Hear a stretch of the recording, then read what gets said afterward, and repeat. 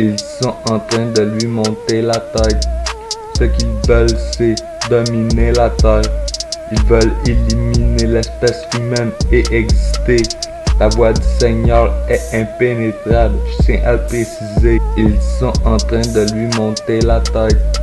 Ce qu'ils veulent, c'est dominer la terre. Ils veulent éliminer l'espèce humaine et exister. La voix du Seigneur est impénétrable, je tiens à le préciser. Ils sont en train de lui monter la tête. Ce qu'ils veulent, c'est dominer la terre.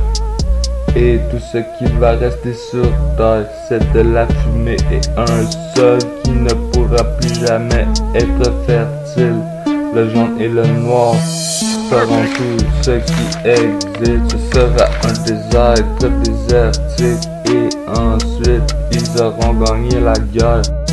Même si rien n'existe, il y aura le sol et le ciel qui persistent.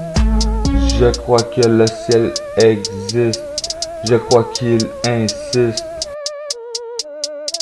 Ce qu'ils veulent, c'est dominer la terre.